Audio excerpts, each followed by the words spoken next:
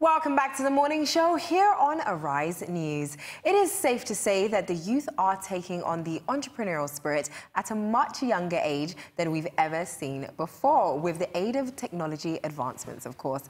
We have seen entrepreneurs like Mark Zuckerberg of Facebook become billionaires through their drive to use technology to create wealth for themselves and also help others. And we've also seen the likes of Kylie Jenner using the internet to connect with their consumers.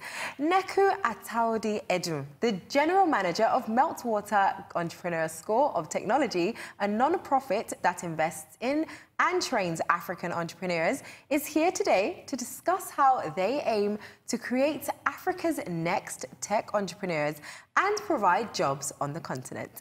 Welcome to the morning show, Neku. Thank you. Welcome to the morning me. show, Neku. Yeah, you guys are doing an amazing job at this. Absolutely so amazing job. It's so great to hear that people are actually taking, you know, the, the time to actually nurture people who have talent yeah. in such a sphere where it is a sector where people are actually going to be needed in the future even yeah. even now yeah exactly but we're going to start off with a video of mm. what mest actually does and then we'll talk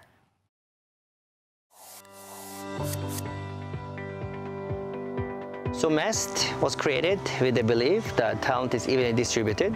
We believe that Africa, with a large population of a billion people, will have an opportunity to take a big and impactful role in the future development of software and IT worldwide. The MEST program consists of three components. The first is the actual training program. The second part is a seed fund, the back of the final examination, which is, which is an investment pitch. And if our graduates are able to convince a real-world panel, then we provide funding. And the third part of the MEST program is our incubators. So once you have graduated and received funding, then you can walk over to the bridge to get an incubator here in Ghana or to one of the incubators in one of the other markets. One of the best supports I get from Mink is just the community of people here. So just the network, the rich network of people, the experience they have here is what has really helped us through all this well. The resources, the community, the general like access to investors and the network in Silicon Valley and, and, the fact that now we're present in more than four countries and we're going to be expanding soon is a huge benefit for the entrepreneurs. Especially it reinforces the mission and vision of MEST, which is to create Pan-African businesses and create Pan-African impact. We are dealing with multiple companies and all of these companies have completely different challenges. You learn so much from, from these companies that um, you don't really expect and the experience here is, is, is awesome. I'm from Durban, South Africa. MEST, it was exactly what I expected it to be. The people, the energy, it's not about where you are, it's about the people. I'm from Nigeria.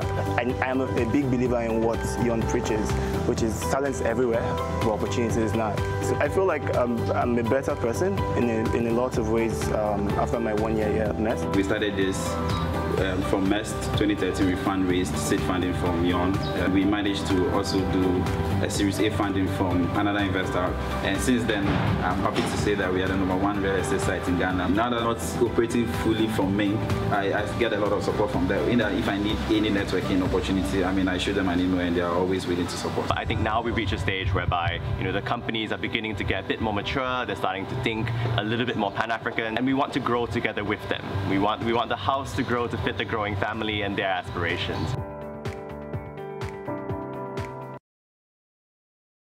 That's it does insightful. look like a lot is being done by MEST. Yes. And I, I, want to ask, in your opinion, do you think everyone has it in them to be a tech guru? Because it's all about people finding solutions to problems.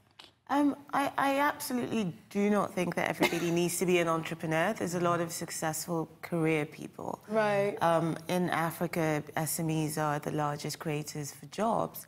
And so we want to empower more entrepreneurs to be able to create those jobs and create solutions right. that can scale globally. Right, right. And what kind of resources does um, MEST actually provide for individuals in the incubators?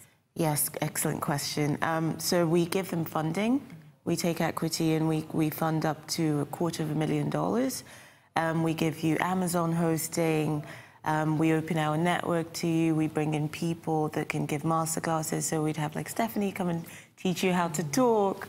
Uh, so just really a shared resource with opening up our networks and things that we're able to offer to the to, to the entrepreneurs. Right, and how do you find these people, or do they find you? You know, do people come to you asking for for help, or do you spot a certain company, a certain small business, and decide, you know what, this person can do more with the resources we're offering? So it's a bit of both. Um, we've got a three-step process. We're about to go into recruitment now. We go all around Africa, so we've got our recruitment people literally on the plane the whole time. Um, finding the most aspiring entrepreneurs. Right. And then we, you know, interview them. It's about something about 0.5% of people get in. So it's 0.5%. 0.5% of people what? get in. So about yes. how many applications do you get? Oh, we get thousands. Wow. And in the end, we get about 100 people wow. that, that start the class. And then we do a year's program just teaching you um, how to code, how to build a financial model, how to build a business model, because it's more than just coding. Mm. It's right. about building a business, how to be a marketer, how to speak to people.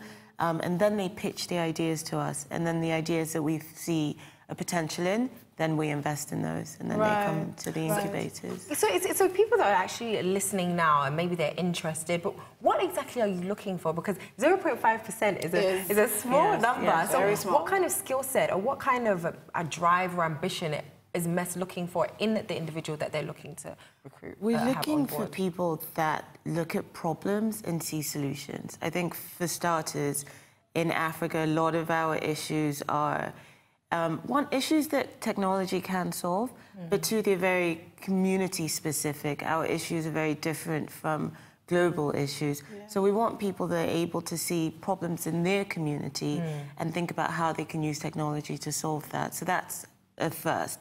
When they come in, we, we want people that you know, are talking about solutions and not just complaining about it took me hours to get here today. Yeah. Or, but you're talking about, oh, I wish I could do this instead. Right. So we like that. Um, we definitely love passion. We love, um, we want people that really believe that they can change the world, and we want to help you to do that. And we like to see that you've been able to work in teams before, because with in MEST, we'll put you together in a team and that brings out your different skills. Um, so having some sort of experience with that is great. But we have, I, I, I, can't say one specific thing that we look for mm. across the board because we have such an eclectic group of, of um, entrepreneurs from right. all around Africa. So we just want people looking for um, how they can solve some of Africa's problems. Problems, yeah. yeah. Talking about Africa's problems on a on a macro level, do you think we we are not taking technology as serious as we should be as a continent? Because Dubai now is talking about coding for kids. So from grade school, like from primary school, these kids are going to be taught coding. So whether or not you want to go on to be a ballerina, you want to go on to be a chef, you want to go on to be a doctor, whatever it is, you will know the basic coding principles. So do you think it's something that Africa really should be thinking about as a continent? Absolutely. Um, at the moment, I think that some states, you'll find pockets that are taking technology uh, more seriously. Dubai, for example. Yeah. I think Lagos State is doing a great job with LSETF and they're about to do Lagos Innovate. So they're really trying to encourage more mm. people to, um, you know, foster techno technological solutions.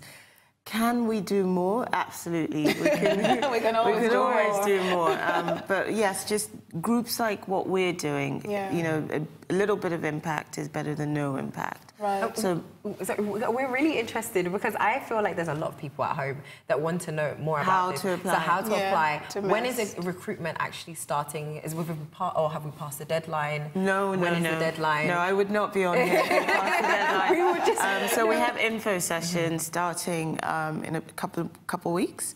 Uh, if you go on our website, we have one start of April in Lagos. And we're now trying to just move out of Lagos because a lot of these things are so saturated in Lagos. Yeah. So we've got info sessions happening in Abuja as well. Um, we have one in Ventures Platform and Civic Hub. So just pop in, ask questions. Um, a lot of people have questions about what we do, what the structure works like. So I recommend coming into one of those info sessions. Let's meet you, get your questions answered, and then we start um, the application process in May. Right. right. And then from the, and then from then, where where is the where is the hub? Where is the where do they? So our school, our training program is in Accra. Okay. Um, so all the students go to Accra and spend the year there. It's fully sponsored. So you get board, feeding, and you get a bit to live off of as well. Um, and we fly you there and everything. And then when you hopefully get uh, investment, then you go to one of the different um, hubs around Africa. So at the moment we're in Nigeria, Kenya, South Africa, and Ivory Coast. Right, and the one you're doing now is for Nigeria? Yes, so okay. we're now recruiting. We've just closed South Africa. This okay. is our second year there. Um, and now we're doing Nigeria. We always get great, great people from Nigeria because it's such an active yeah. Yeah. ecosystem. Um, but yes, I would love, love, love to get some more girls. Yes. So anyone that knows any girl interested in technology yes. or, and just remember, as a female in tech, you do not have to be the person coding. You can right. be the marketing person, you mm. can be the biz dev. So don't be, you know, dismayed because you're not in front of the computer and able right. to code. I can't code. Um, uh, how can we actually, um, it, you know, promote coding for girls and mm. also give them the confidence. Because some of the things you know obviously in the world like being a mechanic you know the way it's portrayed is like yeah, only a like guy a that should do that. Mm. so how can we actually change the narrative as well as individuals to, to help people get into industries that is not necessarily their gender gender roles what's the word? Stereotypes yeah. yeah. I think a lot of groups in Nigeria are actively trying to do that. Andela just hosted their first uh, Women in Tech Summit which we spoke at and just the interest and the amount of women that come out there. I'm always very inspired just speaking with these young girls. Cisco did something similar, Microsoft. So I think now we're actively, you know, we know that women bring so much more to the mm -hmm. table. Mm -hmm. Honestly, the female entrepreneurs, they cover everything. And because we're not as, um, we don't jump into the water before testing yes. it like men do, we tend to make sure that all the different we have our ducks mm -hmm. in a row and i'm actually i think the female entrepreneurs are the ones that yeah we yeah. are very intentional and but because we are very intentional we as you said we tend to take a step back yeah. yes. before yeah. jumping in which yes. makes which makes our choices sometimes a bit better than yes. dare i say it yeah um, one thing that's on my mind though is the stats for startups is is not really encouraging i think forbes released a report like two years ago saying eight out of ten eight out of 10 startups will not last. Mm. So what is MEST doing to ensure that these companies, after going through your incubator program, stay in business? Yes, of course. Um, I think it's actually worse than that. I think it's something like one out of 10 companies become successful. Um, and that's across the board, all over the world. What we're trying to do is to make sure that we have more companies so that the possibility of one becoming successful that probability is higher. Yeah. In Nigeria, there's this big, you know, failure to fear, uh, to fail rather, mm -hmm. um, fear to fail. Yeah. Uh, because it's it's just such a diff difficult market to fail in. Um, but we want to make it, you know, we want to provide risk tolerant capital right. so that entrepreneurs are they feel safer to explore those innovative ideas that could potentially, you know, solve some of these problems, problems that we have. Yeah. So that's really what we're trying to do. To, to make more successful companies, you need more people playing.